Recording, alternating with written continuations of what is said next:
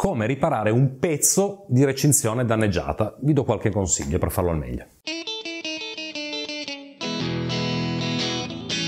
Ciao a tutti, sono Marco di Fanshop, Fanshop che è l'e-commerce di Rete Plastic. Allora, introducevo nel video una classica situazione, può essere capitato, io ne ho viste parecchie, un albero che è caduto su una recinzione, uno in macchina che stava guardando gli uccellini e è andato a finire contro la vostra recinzione. Insomma, un pezzo di recinzione che è stato distrutto, danneggiato e dovete cambiarlo ma ovviamente non volete rifare tutta la recensione, tutto il lavoro. Quali accortezze dovete usare, quali consigli eh, eh, vi posso dare, ve li do appunto in questo video per fare il lavoro al meglio, nel minor tempo possibile e soprattutto nel miglior modo possibile. Partiamo subito. Punto numero uno, dovete individuare il primo palo a destra e il primo palo a sinistra buono, che è rimasto utile, buono, dritto, sano. Mi raccomando, non la rete, ma il palo. Se la rete è stata danneggiata in un certo punto, eh, non limitatevi a tagliare lì la rete, no, no, andate al palo prima, sano, e andate a individuare appunto questi due punti principali, punto 1 e punto 2.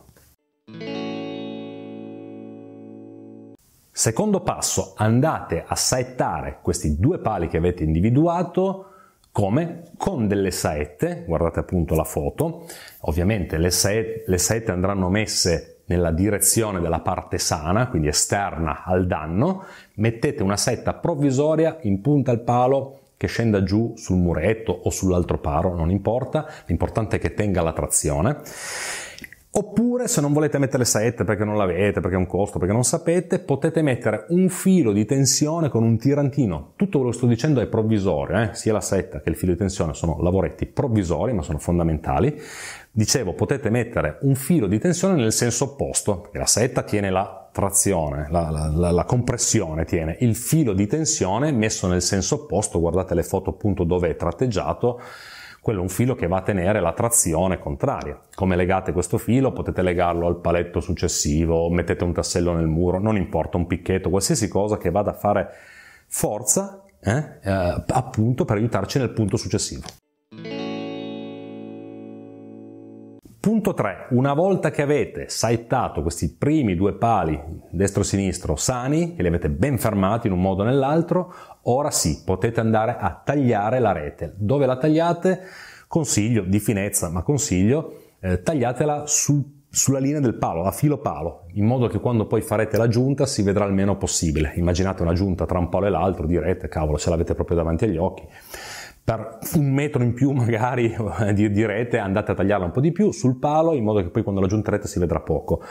Tagliate la rete e, e, tagliate anche i fili di tensione. I fili di tensione se potete lasciateli un pochino più abbondanti eh, eh, rispetto a come vi ho detto di tagliare la rete, c'è sempre poi tempo a tagliarli ancora comunque. Quarto punto, iscriviti al canale se non è ancora fatto, parliamo di recensione. Quarto punto reale della prosecuzione dei lavori è questo. Andate ora a ritirare i fili di tensione nuovi in quel tratto danneggiato, eh?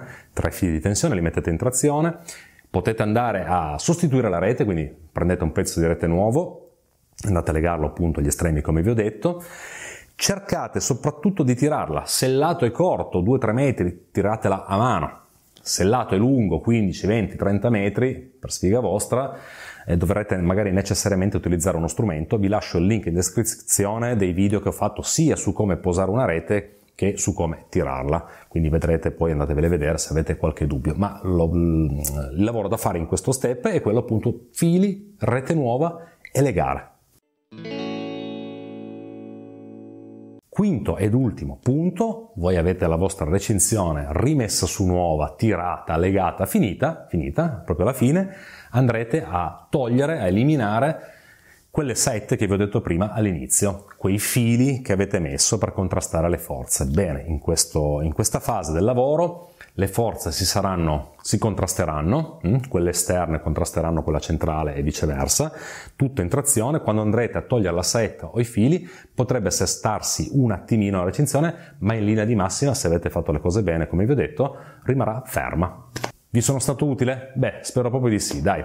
Io vi ringrazio della, dell'attenzione, vi rimando al prossimo video, vi ricordo ancora una volta di iscrivervi al canale e di, alla nostra community Facebook Lasciatemi commenti, se ne avete ditemi la vostra, mandatemi delle foto, sono molto curioso in questo senso, potremo discuterle insieme. Vi ringrazio, al prossimo video, ciao a tutti!